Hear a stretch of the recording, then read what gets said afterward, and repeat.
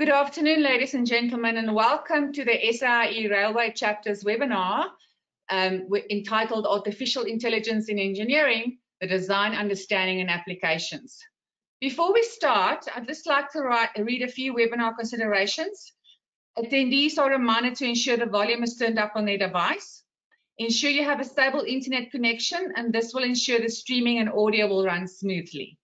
Attendees can ask questions via the questions panel located within the GoToWebinar control panel. By default, the control panel is located on the right-hand side of your screen. The chat function is reserved for webinar organizers and panelists to communicate with attendees. Attendees will not be able to chat with each other, however, are encouraged to ask questions. A recording of this presentation will be made available on the SAIEE YouTube channel, SAIEE TV, the recording will also be made available on the SAIEE website under the events drop-down menu in the section past events and webinars. This page is updated regularly, so ensure you check back as often as possible for new uploads and subscribe to our YouTube channel. A certificate of attendance will be issued a few weeks after this webinar once we have received the CPD validation number from ECSA. I'd like to introduce you now to our host for the evening, Mr. Xolani Zwane, he's the secretary of the SAIEE Railway chapter. Uh, Xolani obtained a bachelor's degree in electrical engineering from the University of KwaZulu-Natal uh, and is currently enrolled for a master's degree in engineering management at the University of Pretoria. He has over five years of experience working as an engineer in Transnet's research and development space. He is currently serving, as I mentioned, the secretary of the SAIEE Railway chapter. I hand you over now to Xolani.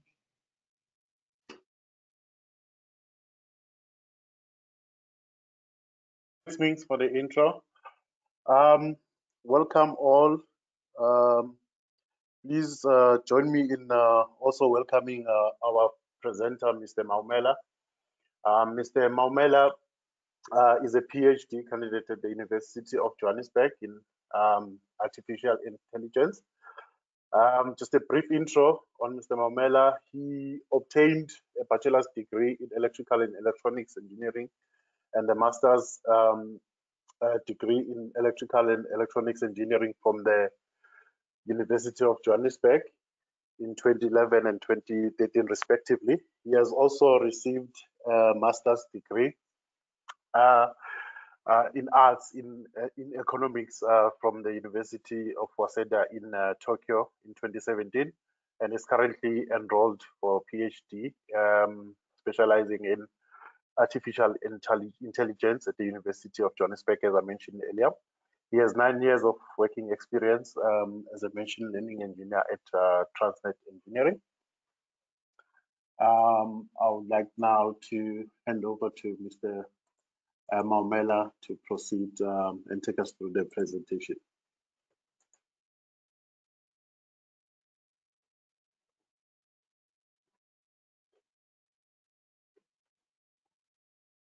All right, thank you. Thank you, uh, and thank you, Mings.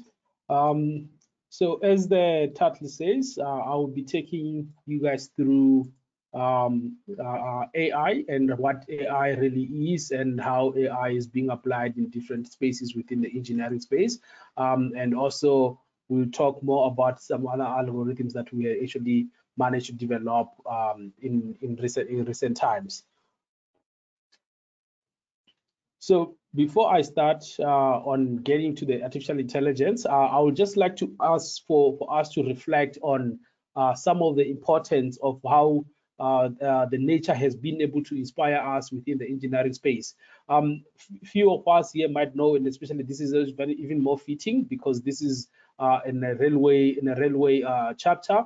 Um, the kingfish bird inspired the, the, the design of the Shinkansen, the Japanese bullet train um, in how it was able to catch the fish. So the, what the lead designer was able to observe and realize that the shape that the, the fish has in its mouth is enables it to be able to pierce through um, uh, through through a high pressure of air, and then through that kind of design, then they were able to see how they can uh, uh, design a, a, locomo a, locomotive that could actually run in a, in a faster speed. So when we look at this, we then realize that um, in engineering, it's been a case that uh, uh, we've been more inspired by nature. Um, the only difference being that back then it was more uh, inspired from the physical capabilities of nature. Whereas now when you're looking at AI, AI then looks at how the internal reasoning system of nature actually works. In some of the times, we might not see that there's the nature reasoning, but it is actually there. And then that's what we try to emulate uh, when we talk about artificial intelligence. So one may ask, what is machine learning? Um, myself, I usually go on and say uh, machine learning is mainly on, um, about how do we teach machines to be able to identify things the same way that we are able to identify them uh, using the same reasoning, the same intelligence that I was talking about. So basically, how do we go on and make uh, a machine to be able to identify that um, this here is a chair, that this uh, that this here is a sofa, and then we're looking at this, this is a bed, and it can be used for this particular functionality. Uh, the, this can be used for storage, and this can be used for storage, and this can be used for storage, because these are some of the things that we have learned as human beings as we grow older, as we learn about them, and as they get introduced. So learning about such things as such as the functionalities, that's what you're trying to make the artificial intelligence uh, uh, uh, with artificial intelligence you try to make the computer to be able to learn. And one of the uh, uh, ways to make sure that the computer are able to learn that is through uh, machine machine learning. So in order for the for these computers to learn what we have is we have um, three main different ways in which they learn. Um, the same way as we as, as happens with us as human beings as we learn things in real life right so we have a supervised learning where you have a teacher who's standing there showing you what the what, what you're supposed to uh, uh, what the answer is supposed to be, and when you get the answer wrong, they correct you and then they tell you how many marks you've gotten, and then they take you you, you go back to revise, and and the teacher is satisfied when you now can pass with very good marks. Um, and then what they do then is that they teach you with the certain materials that they're giving in classroom, and then they give you the tests of things that you've never seen before because you can we can all appreciate that if they give us the test on things that they've seen before then uh, um, eh, on, on the things that we've seen we, they taught us with in class then it means that we, we even if we get 100 percent it could be because we've crammed and then that's where in this supervised learning how it actually learns. So you learn on the on on some on some material which is the syllabus which they create and then you have the test which they go on and test you with um, then unsupervised learning is what we normally do when we grow older. So because when we grow older, this is what we we we we end up learning on our own. So you end up just playing around with something, and then you find a way of saying, "Oh, okay. So since I'm looking at this at this thing, I've never seen it before, but because of these similarities that it has, or because of these differences that it has, then I cannot put it into this bucket, or I can put it into this bucket." Um, when you see certain chairs, when you start, start seeing uh, office chairs when you were growing up, you could then see that, oh, okay, so the functionality is for you to be seated on. So it means that I can classify it under the chair brackets, and that's what the unsupervised learning is all about. Uh, whereas reinforcement learning is more about the carrot and stick method, where you then have uh, uh, uh a reward system and saying, if you are able to do this, we get we give you this. Um, we can look at this as an example of how you can be try to encourage a kid to walk when to walk towards you. Uh, you dangle the sweet in front of them to come get the sweet. Uh, if they're crawling, you don't give them the sweet, but if they walk to you, you give them a sweet. And that is what reinforcement learning is all about, and that is how it's actually be, it's actually applied in in many cases. So if we were to look at these things, for example, as, as I was indicating on uh, on the aspects of machine learning, um, what we then realize is that we can we can classify the different machine learning uh, uh, things according to uh, the functionalities that they have. Um, so if one says, uh, please classify these objects for me on based on the city on uh, uh, how it's used for seating, one will actually go on and say, oh, okay, so one of the things that I need to look for here is the area in which um, a person's a, a, person can actually sit sit on.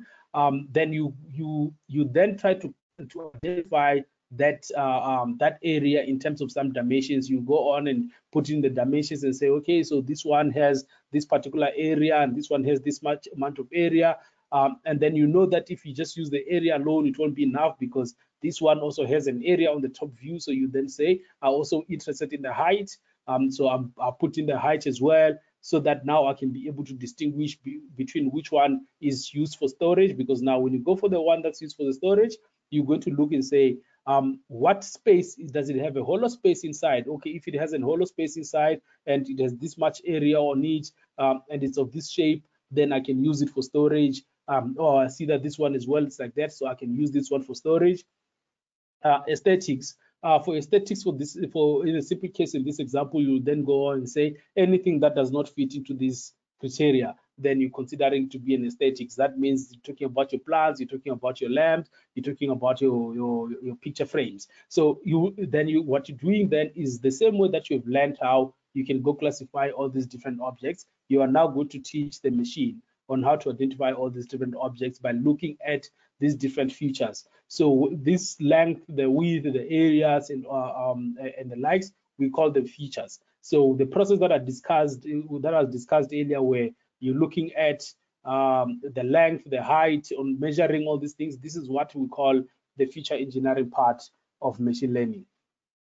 So myself, I usually uh, um, classify uh, um, artificial intelligence into six different application areas, uh, of which there's knowledge-based. Uh, our knowledge-based systems, I'll explain them further. Uh, there's regression, there's inference engine, there's ecosystem modeling, there's automation, there's resource management. So how I, and one thing that you should note in these ones is that um, they are very blurry. There's blurry lines between each and each and every single one of them, the gap that is in between them on the on the graphics.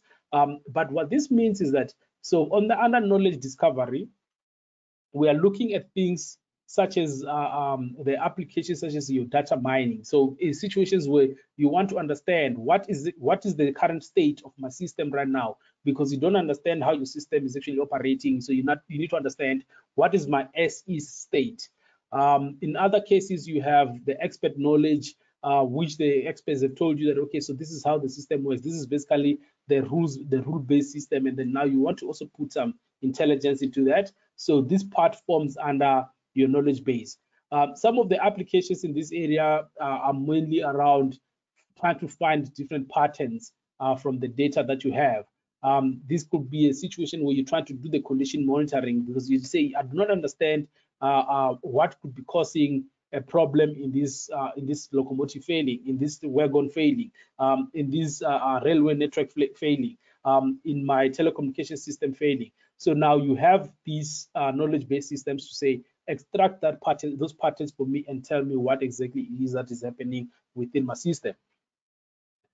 Um, so here, basically, in the knowledge-based system is the situation where you normally have certain classes uh, that you know already that you're going to you look you're going to look towards. You already have an idea that these are the things that I'm looking for in that particular space. Uh, and also in that in some other cases is where you just do your cluster analysis because you don't know as yet how how many groupings, how many uh, uh, um, uh, segments are you going to have, but you have an idea of the number. Um, however, on the other case, you have a case of um, you you are trying to predict what will happen in the future. Um, you are trying to predict as well uh, uh, things which are more on a linear on a, on a linear basis. You try to predict how much uh, um, how, how much load should you load your your your, your wagons with, uh, how much load in the in the next future must you have, uh, uh, uh, how many number of wagons should we have in the future in the future, how how you should go about that. So you do this through uh, the forecast planning, and this is where the regression part comes in. And then it is through this as well where you are able to monitor things in a sequential manner where you can actually have uh, uh, systems that are monitoring if there's any uh, um, irregularities that are occurring in your system, if there's any novelties, if there's any anomalies. So the regression system is the ones that can actually help you into into being able to identify that. Um, and you will appreciate in many cases that these two parts here might actually even overlap in many cases. As we as I indicated, there's a blurry line between all these different things. Uh, resource management um, uh, in a in a nutshell, this is where you're planning. This is your your your optimization problems.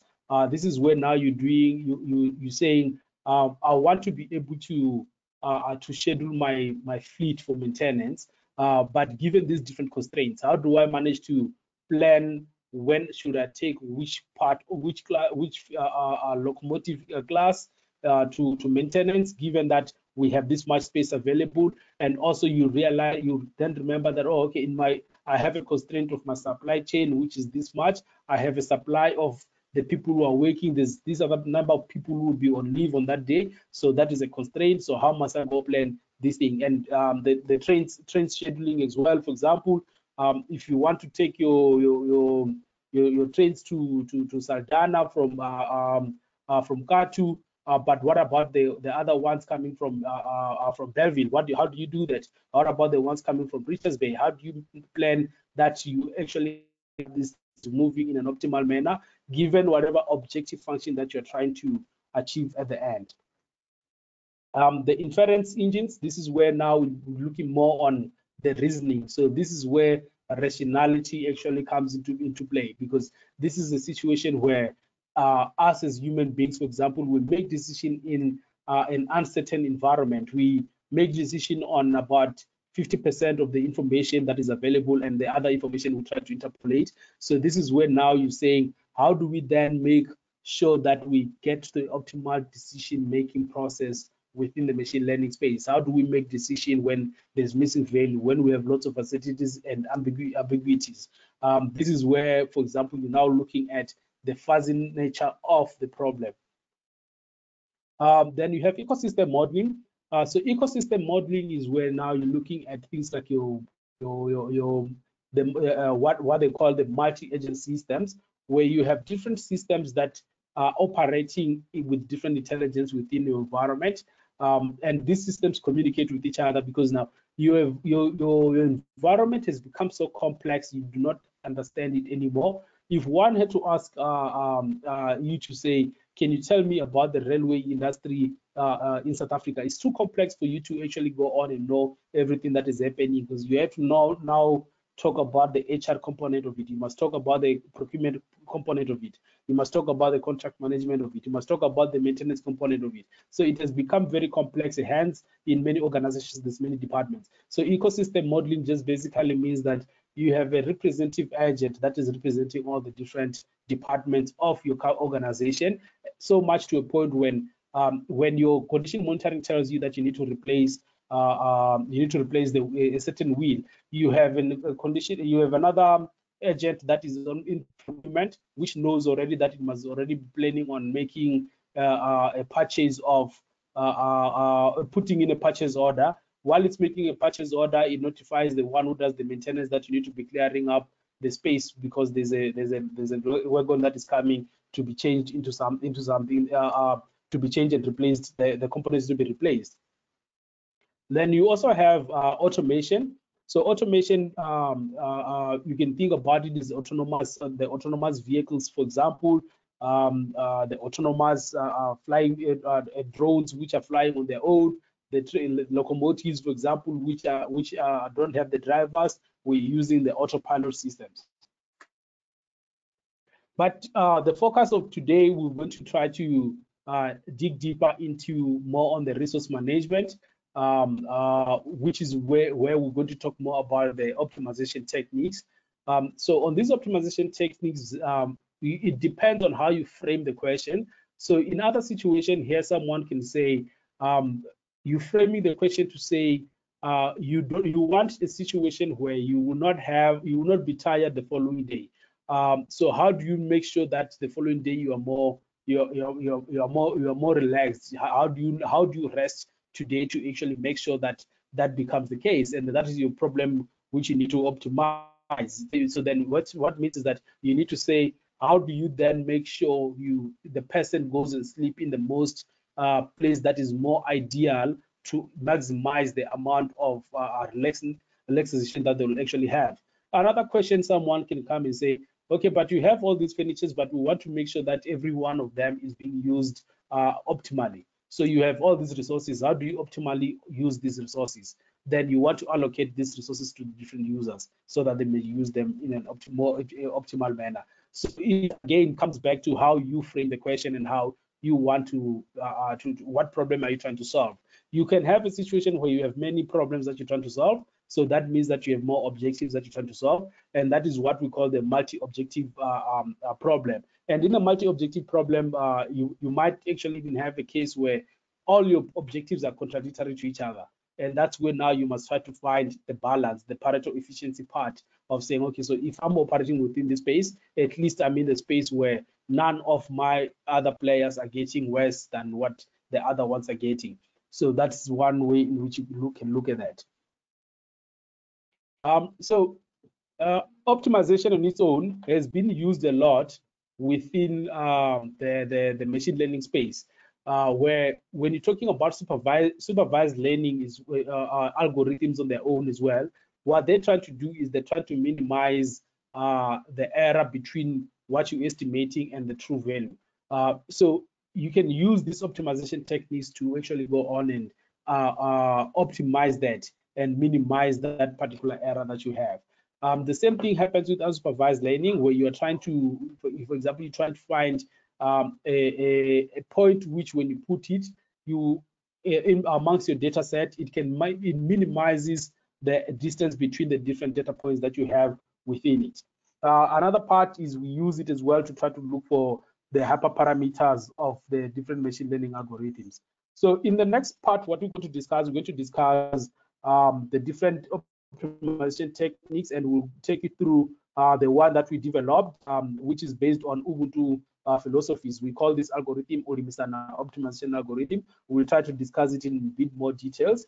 But first, before I get there, uh, it will be important to discuss the other population-based uh, meta-heuristic algorithms that are out there. Uh, so they differ from the other algorithms in the sense that um, here we look for, we have a population of uh, um, uh, what we call the agents, which are trying to solve the same problem. And then when we're solving those problems, we always try to find out where is the best and who's the uh, and what when was the when was my best uh, uh, position in all this time and what was the best position of any other individual within the the um, my, my my safe space. Uh, we'll show that how that actually works in a, in uh, uh, later. So basically, what the problem has to try to do is, in many cases, most of the models uh, most of the optimization algorithms can get stuck here in the local minima. Um, whereas what you need looking for is you're looking for this global optimal space. So what you have in in meta heuristic in the population-based ones is that you have these agents being placed in all these different places here. So you can have, let's say, if you have 20 agents, so you might you might have one which is placed in each and every one of the positions for the x uh, uh um, x variable. So it means that if you have one here next to, let's say, a 10.5, it will be very closer to here uh, which is the global minima. So this is what you try to find. So you have all those different agents um, working together and telling you that, oh, the one that is at 10.5 is the one that is actually uh, at the best performance. So this is basically how it will actually work and how it will go on and update itself in general. Uh, so where it will go on and say, okay, so that was the best one. So let me find a way to calculate some vector and moves closer to to to to the where the sweet spot is. Um, it does that in the second iteration, and then this one also as well realizes that oh okay, so I'm no longer in the best position. This one is now in the best position, so let me move myself closer to this one, and then they both move closer to the sweet spot. And as, you can see here, the search space is actually decreased because they have they're actually moving towards each other. So um, before we even go on to talk about the Ulimisana optimization algorithm, it's very important to talk about the fact that there's many other algorithms that were bio-inspired.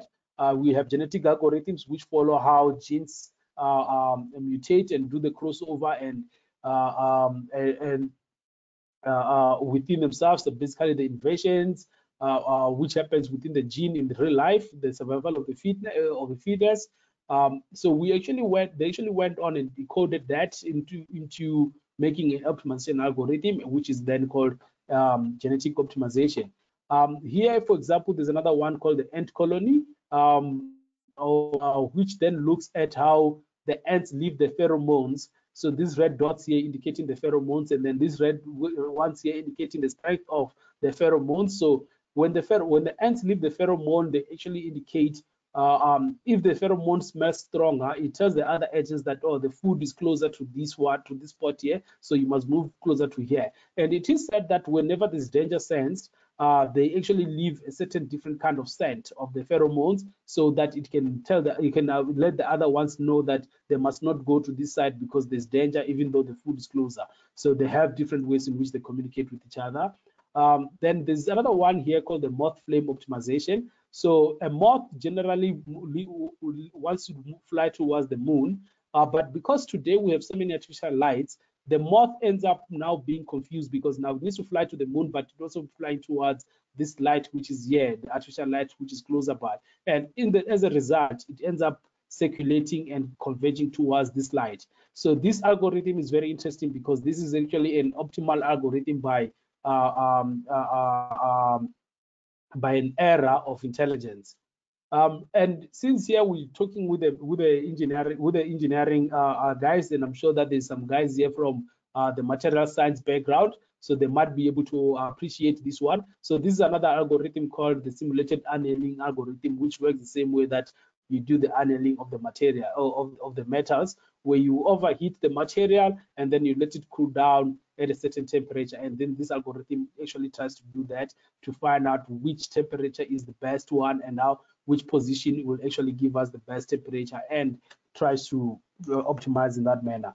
So that's given all that that also inspired us to say um, we have noted when we're looking at uh, Ubuntu, the Ubuntu philosophy, that it, it is very it, um, it is, is, an optimal it is an optimal philosophy, uh, and also it looks at, it looks after the community because what we realized then was that um, in most of those algorithms that we showed you, most of them what they realize what they look at is they look at the individual themselves. They don't look at the community. They don't look at whether the community is benefiting or not. And then we said that um, but in real life, in most cases, what you need is you need a situation where when one is rising up, you need everyone to rise up. And then when we observe, we observe that um, there are situations in within our ways when we're growing up where uh, we had processes which uh, uh, in Tshivenda we call it Ulimisana, and then in in Sotho they call it Tima, where one family goes to to to to, to plow their their their field, uh, and then they invite the other families to come help them.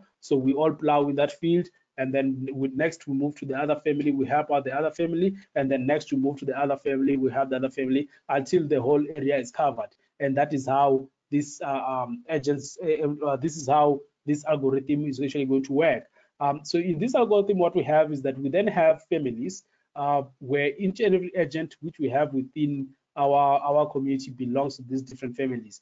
Um, and when they belong to a different family, these different families have trust elements, uh, trust levels to each other, uh, which then indicate these four values of Ubuntu that we talked about here. And we actually go on and model um, these four, four uh, of Ubuntu. So one way in which you can go think about this process of Ulimisana today in a way that will make sense in a modern sense is to think of the Stokvels. Um, and also those who you know uh, uh, politics and, and, political economics, uh, you know that in, in Tanzania they had a process called Ujamaa. It's a similar it's a similar process. It follows the same thing. And in Kenya they call it Harambee. It follows a similar process. So uh, what we then did was for this algorithm to work, uh, it needs to have um, an incentive algorithm, an incentive incentive mechanism. So we call this incentive the Ubuntu incentive scheme or Ubuntu incentive mechanism, where basically an individual gains um, uh, uh, their their own uh, their own their own pay um, payoff or their own objective value.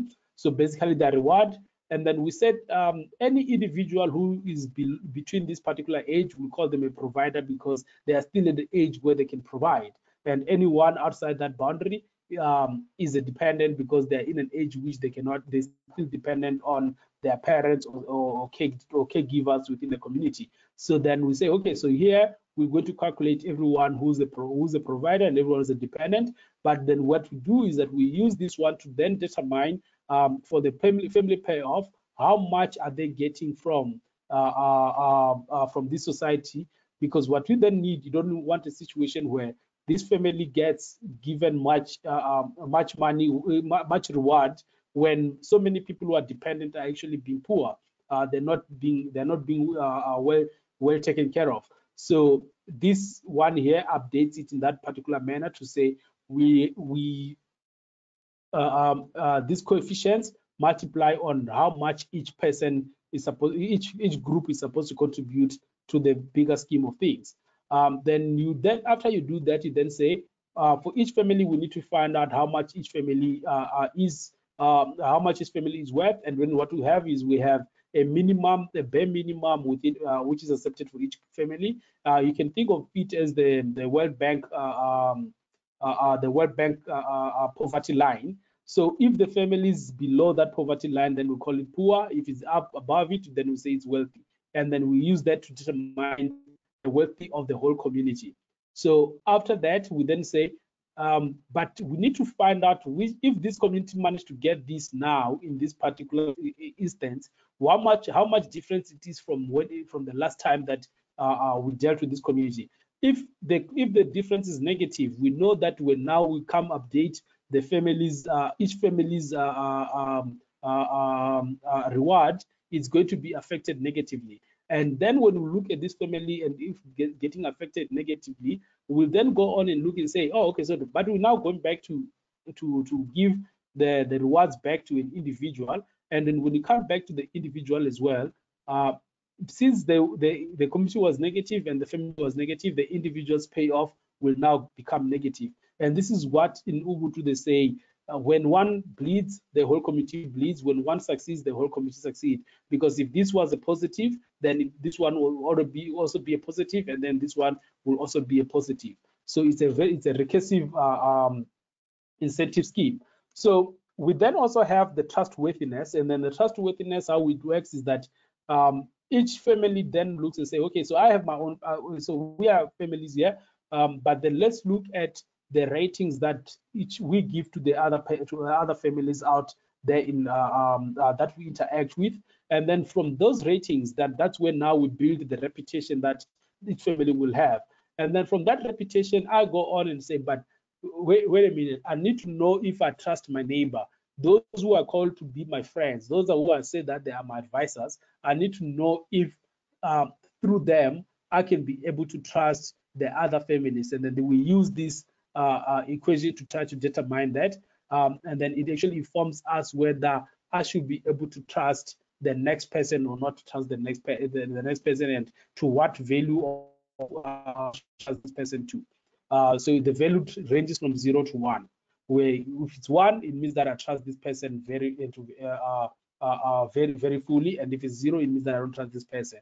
So this year, being the reputation that is there out there in the public, and this one being my own privately held reputation. So if this uh, omega value is is uh, um, uh, is big, it means that I trust my value more. And if it's like this, then it means that I try. If if if it's low, smaller, it means that I trust the, the my advisors more than I trust myself, because most probably because I've not dealt with these people before.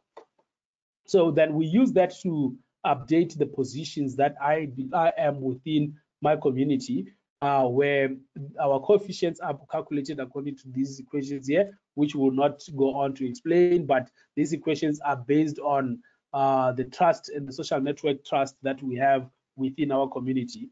Um, and one thing to note here is that if you looked at the, the previous ones that we showed you for the other algorithms, they only had the local best and the global best. Whereas now in our situation, we went on and say, no, that's not, that, can, that it's not enough. So I must have the local best and I must have the best within my family because within my family, I have family members as well. So I need to know within my family members who was the best one, who performed the best. So we call that the global best, uh, the local best. And then we also go on and say, but um, from this particular time here, there was a family that most probably was uh, uh the, which which performed uh, the best. Let's find out which which family that was, and then when we find out what family that was, we then go on and say, let us find out who's that person in that family that performed the best, because we want that person's position. Um, when it comes to this one here, the local best for the community, we say we know that there was a time when the community was at its best.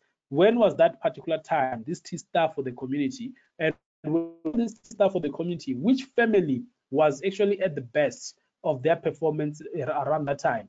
Once we find out which family was at the best around that time, let us find out who in the, that family was the best, uh, who was the best individual, and then we use that to update these terms here.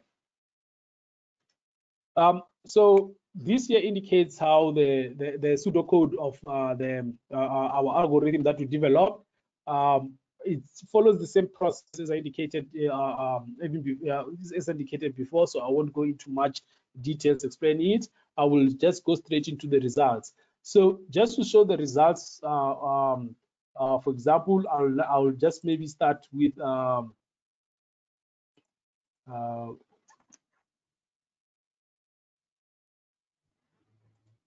I'll try to get uh, I want to play a, a simulation from from this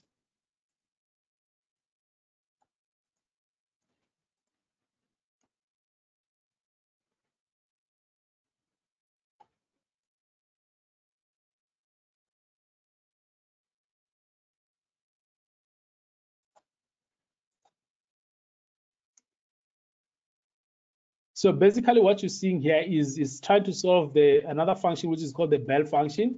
Um, so what it then does is, is it tries to move around to say, if I were to solve this problem, how do I then move around to to to solve to solve uh, uh, uh, the challenge that I'm faced with? And then if we were to look at now how it tries to solve uh, the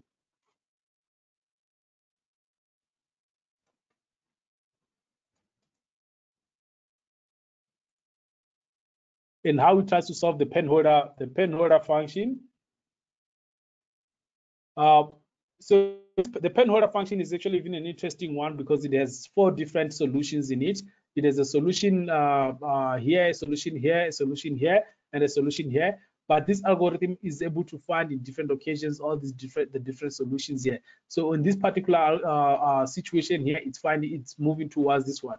So what we also note with the algorithm that we developed was that um, there was a way in which we can control um, uh, the updating of the terms uh, by using the different uh, uh, functions, which we call them the transformer functions, on how to go towards the solution. And then we compare the different results and how the convergence rate for each and every single one of them actually works. And if you can see here, for example, you'll see that these two ones that are up here, this is when you're using the convergence rate, which is, is which is very linear um, when for this particular uh, uh, for this particular fu function that test function, function that we're using here. So when, because of we're using that one, the linear ones, it's very slow into converging. But when you're using the the, the tangent one, which follows the segment uh, uh S curve, it becomes very uh, uh, very fast into the convergence and also becomes very crisp and clear in that in in how it actually converges towards the solution. Uh, and that also depends on the different applications that you're working on. Because in certain applications, you want, you, if your set space is too big, you want your, your, your, your solution to be able to have uh, much flexibility in terms of exploration. And, uh, uh and in some situation, when you have too many um, uh, optimal positions next to each other, you want to give your, your, your solutions enough space to do exploitation of the solution.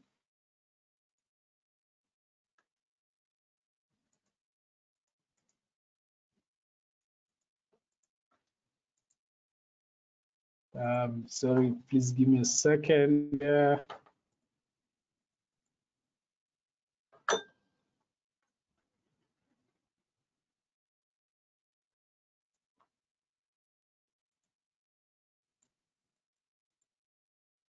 let me just do this. I don't know what the issue is here. I'm not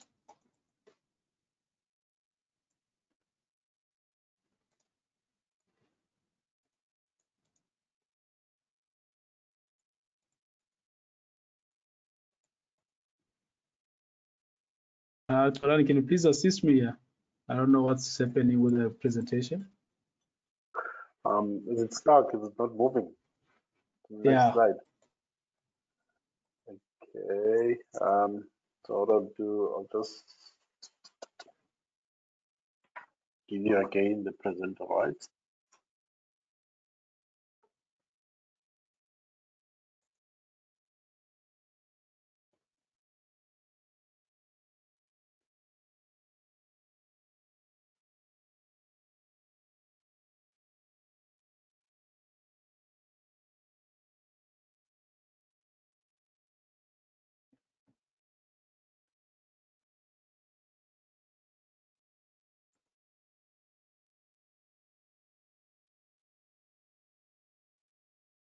Can we retry it?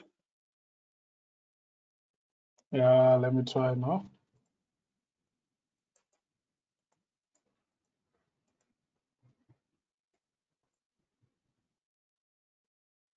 I don't know why it seems to be stuck. Okay. Just Okay, wait, have it on presenter mode. Just have it on presenter mode um, when I give you control.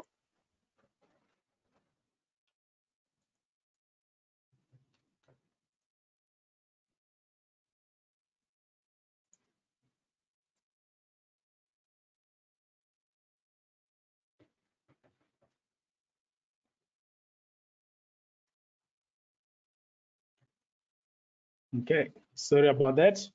Um, so one of the applications that one of the things that we went to try to to look at again was uh, the effects of the uh, the trust threshold.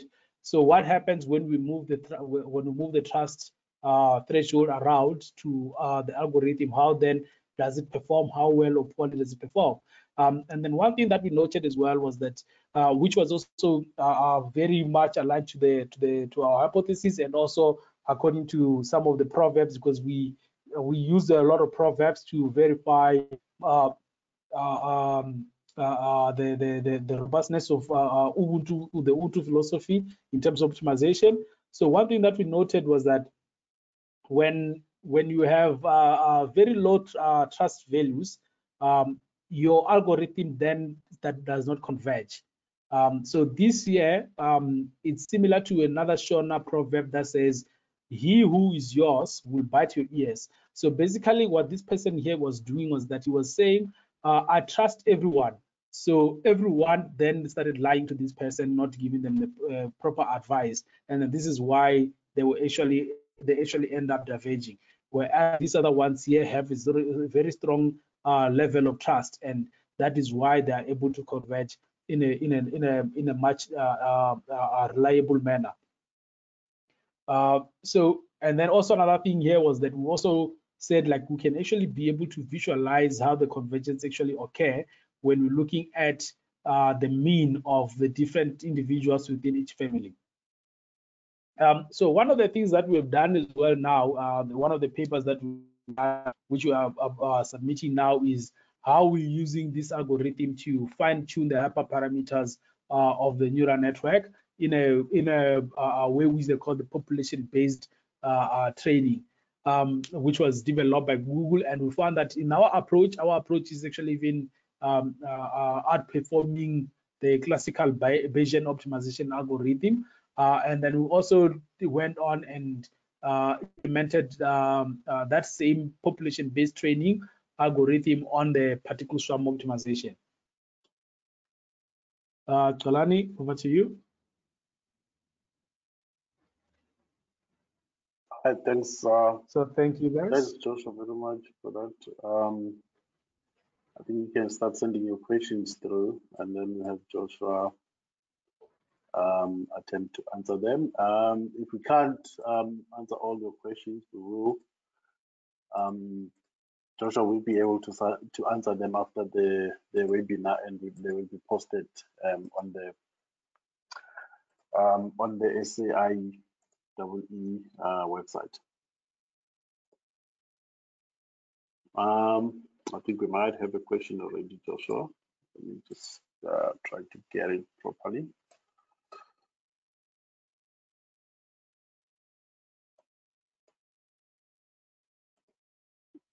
Okay, so we've got a question from Neo. Um, I'm just going to read it out, Joshua. Uh, very interesting presentation. Thank you, Joshua. Uh, the first question, how does uh, the Ubuntu optimization algorithm perform when compared with other algorithms such, such as the genetical, genetic algorithm and the particle swarm optimization? Uh, thank you. Uh, so we compared it against um, uh, the the particle swarm optimization, the gray the gray wolf, uh, the artificial bee algorithm, uh, the social spider algorithm, um, and we found that uh, the Ubuntu the Ubuntu algorithm was able to uh, outperform most of those. The only one that it used it, um, it will get competition from for different applications was the was the the PCO the PCO uh, algorithm and the and the gray and the gray wolf. But in general, uh, in most uh, uh, hard um, test bench functions, which needed the balance between exploration and exploitation, we actually beat them. Out, we actually beat them.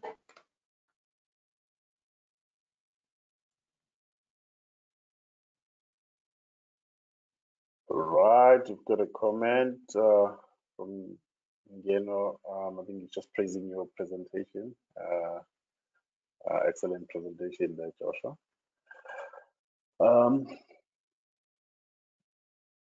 um, any further questions? I think, yeah, we just a bit, yeah, we're earlier than the six o'clock time that we had uh, um, anticipated. Um, got a. I can hear you. Um, yeah, there's another question. Uh, just give me a second while I just get it properly. Uh, okay, so this is a question from uh, Rishit Patel. How will we optimally uh, able to use this algorithm if some input values are, are false? So I'm not sure if you got that, Joshua. If some if some what what?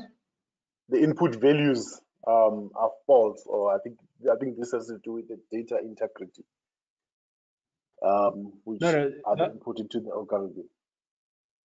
Yeah, yeah. So, so the data integrity part uh, is the whole junk in, junk out. So it's always up to the to to, to the designer uh, of the of the of the solution. When you're designing a solution, you need to clean up your data. So you, there's nothing that an algorithm can magically do if your data integrity is is bad.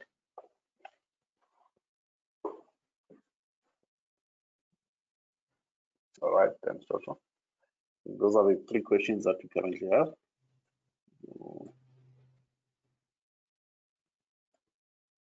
I think I can, um, if, if there's more questions and if maybe there's people who want to give uh, uh, questions by just talking, I think if that's possible, they can ask questions. Uh, I wouldn't mind. Okay, I'll see if I can be able to to enable that. Uh, I'm not sure if you are able to see the questions as well, Joshua, on your side. Um, Uh, so this is a follow-up no, I uh, from Richard. It's a follow-up from Richard. It says, uh, what if someone is forced to input false values under pressure? Uh, that is a problem which they call uh, backdooring or backdooring machine learning. Um, so there is an active research that looks at, into that.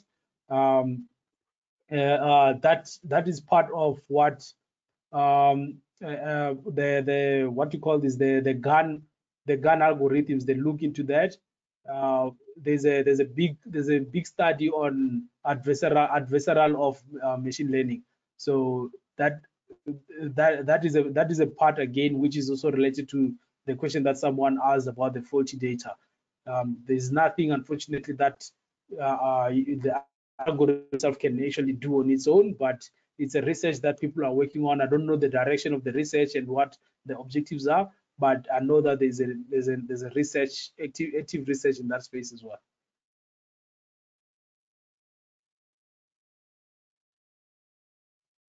All right, thanks. I think uh, uh, Rashid is covered there uh, with your answers. Any further question? If you do want to speak through the mic, um, um, you, you are, yeah, you're welcome to do so. Uh, try to raise your hand and then I will um, unmute you.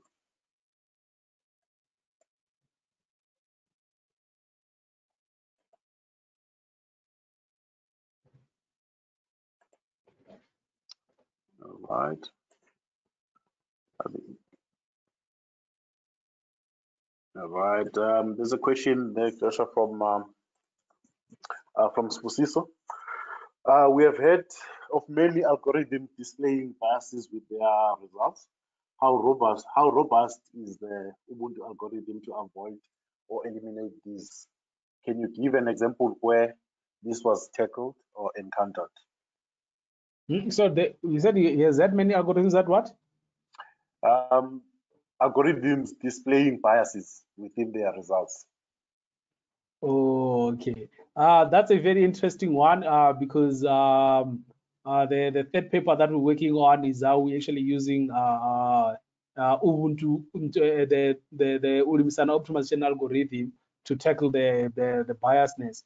Um, so I'll say that let's we can leave that for a talk some other time if needs be.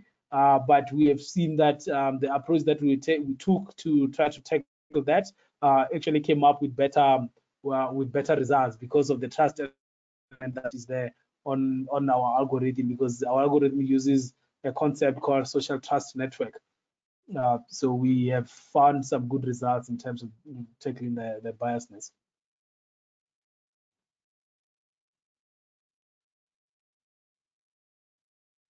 All right, thanks, Joshua.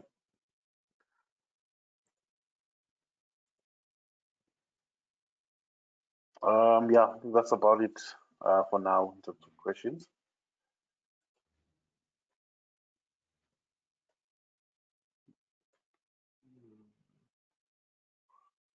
Just give it a few more minutes and then um, to see if there's any further questions. But other than that, I think we, yeah, we feel to time.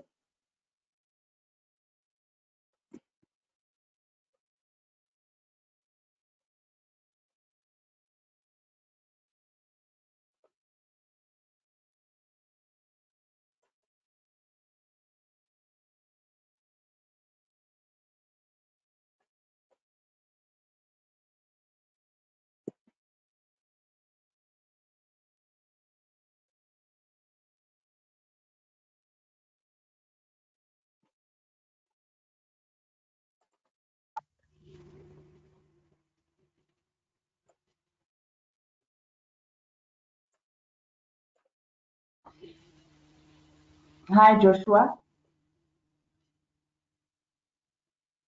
Hi, how are you? I'm well, thanks, and you? I'm all good. My name is Jeanette Ramakatani, your former colleague. I am Hi, Jeanette, how are you? I'm okay, I'm okay, and you, uh, Chief. I am watching just to see what you've been up to, and I just wanted to congratulate you on this other achievement on the AI. It's still jargon, but I am interested. Thanks, thanks a lot. I don't have a question. Um, I just wanted to congratulate Hi. you and thanks. Ah, thank you, Jeanette. All right, thanks, Jeanette, for that. Um, got a question uh, from Sbusiso. Where can one get uh, the paper on your algorithm? Uh, it's it's available on uh, IEEE Access for free. Uh, if you just say introducing Ulimisana optimization algorithm based on Ubuntu philosophy. Okay. Do you perhaps have a link uh, ready with you there, Josh? But you can just paste it on the chat um, uh, chat tab here. I think that would also assist. Okay, let me try to do that.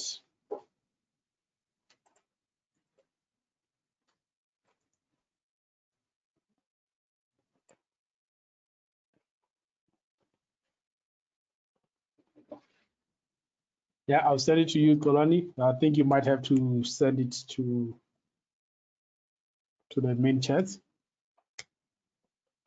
Okay, I think yeah. Um, all right, now I'll do so. Um, all right, I think that's about it in terms of questions. All right, um, thanks everyone for for attending the webinar. Um, uh, please do uh, kindly um, uh, visit uh, the SAI website. Um, that's uh, sai.e.org.za for any upcoming webinars um, that we that the chap um, that the um, um, the organization might have in the upcoming in the near future. And yeah, thanks once again for for attending and participating in the in the webinar. Um, uh, Joshua, if you wanna say something, and then we can close. All right, no, thank you. Uh, thank you guys for for your uh, for the participation. Um, it was very it was very good to present in front of you. I hope um, uh, you guys were able to follow me uh, in the presentation, and I hope uh, and I wish you all the guys the best in your in your journey and your while you go on in the park on on the AI projects within your organizations. Thank you. All right, thanks, everyone. Thanks.